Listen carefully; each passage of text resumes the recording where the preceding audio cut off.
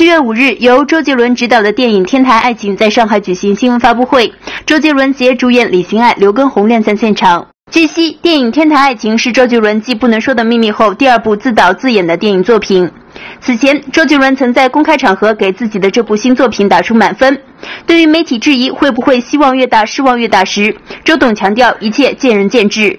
好不好，真的是见仁见智哦，每个人呃观点不一样哈。那那当时是媒体问我，哎觉得怎么样？我当然是要拿出百分之最，所以我的回答是这样。无论是周杰伦自编自导的《不能说的秘密》，还是他参演的各类电影，只要是有周董参与的电影，往往票房都还不错。因此，有影评人认为，这完全归功于周杰伦庞大的粉丝群体而已。对此，周杰伦显然并不认同。粉丝本来就是一个动力，对。那我觉得，呃，也是因为有粉丝，然后，然后我们去做呃自己喜欢做的事情，音乐有人跟你一起分享，那是很开心的事情。据悉，电影《天台爱情》将于七月十一日全国上映。